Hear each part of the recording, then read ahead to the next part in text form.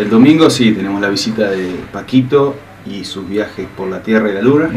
Es un espectáculo teatral, narrativo, musical, eh, que bueno, está destinado a niños de 0 a 100 años. Eh, y bueno, este, esta propuesta viene, son músicos de Santa Fe que ya nos estuvieron visitando con otro espectáculo que fue el homenaje a María Elena Walsh. Eh, la misma compañía, los mismos músicos que vienen con otra propuesta. Otra temática. Bien. ¿A qué hora comienza todo? Esto es a partir de las 18 horas y bueno, tenemos las entradas como siempre. Eh, son 80 pesos para socios, anticipadas para socios 80, anticipadas no socios 100 y en puerta 120 pesos. Es interesante esto de que son espectáculos infantiles, pero lo terminan disfrutando toda la familia. Sí, Por eso está bueno de 0 a 100 años, porque en realidad es así, más o menos. los padres vamos con la excusa de llevar a los hijos y nos terminamos Y después te enganchas más, creo. Aparte, mm, bueno, en este tipo, en esta propuesta, yo creo que también a los adultos no, nos puede llegar a interesar porque hacen todo un recorrido de la música. Bueno, Paquito es un personaje que viaja por Latinoamérica, viaja por distintos países y, a la vez va haciendo todo un recorrido musical de, ritmos autóctonos de, cada país, de nuestro país. también ahí va a haber canciones de María Elena Walsh, así que también vamos a recordar. Y bueno, creo que está interesante para todos.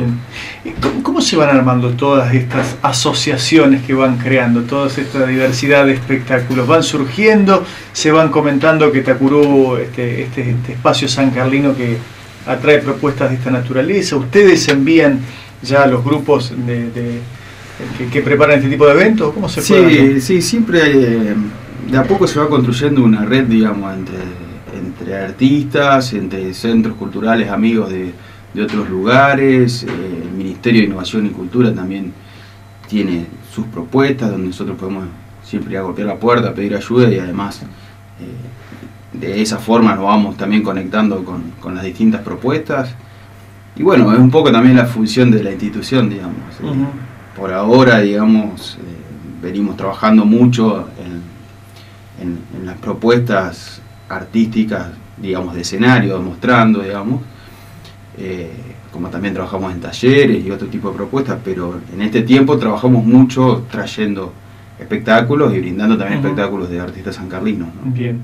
Víctor, eh, ¿qué novedades hay de un, terreno propio? Eh, ¿Cómo, está ese sueño ahí acariciado? ¿Está y venimos, sí, aletargado o está resurgiendo? Y está resurgiendo, ya en breve vamos a tener novedades un poco más concretas, pero venimos trabajando hace mucho tiempo ya por, por un lugar propio, por, por la necesidad del proyecto yo creo que es fundamental contar con un lugar, hace muchos años que lo venimos buscando.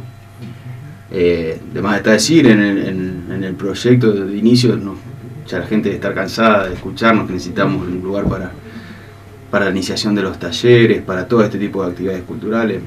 Es una institución que abarca muchas actividades, digamos, entonces, bueno, es fundamental. Y en eso eh, venimos trabajando en un proyecto en conjunto con, con el senador Pirola. Cámara de Senadores, Cámara de Diputados, nos hicimos visibles en la provincia y bueno, ya hay algunos movimientos, algunas respuestas positivas y en breve vamos a estar bien anunciándolo. No se puede todavía. Todavía no. Bien.